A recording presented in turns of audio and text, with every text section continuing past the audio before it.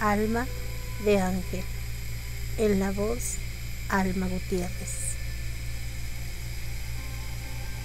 Es cierto que jamás alguien ha visto a Dios, pero si nos amamos unos a otros, Dios permanece en nosotros y su amor alcanza en nosotros cumbres de perfección.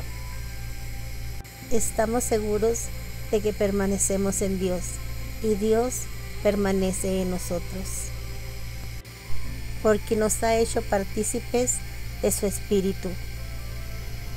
Y nosotros hemos visto y testificamos que el Padre ha enviado a su Hijo como Salvador del mundo.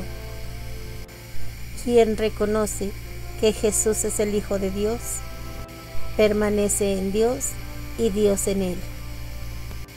Por nuestra parte, hemos conocido y hemos puesto nuestra confianza en el amor que Dios nos tiene. Dios es amor y quien permanece en el amor permanece en Dios y Dios permanece en él. Nuestro amor alcanza su más alto nivel de perfección cuando al compartir nosotros ya en este mundo la condición de Cristo nos hace esperar y confiar el día del juicio. Amor y temor, en efecto, no son compatibles.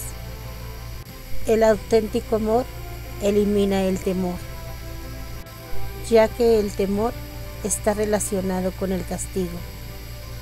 Y el que teme es que aún no ha aprendido a amar perfectamente. Amémonos pues nosotros, porque Dios nos amó primero. ¿Quién dice, yo amo a Dios, pero al mismo tiempo odia a su hermano? Es un mentiroso. ¿Cómo puede amar a Dios a quien no ve? no es capaz de amar a su hermano, a quien sí ve. En fin, este mandamiento nos dejó Cristo, que quien ama a Dios, ame también a su hermano.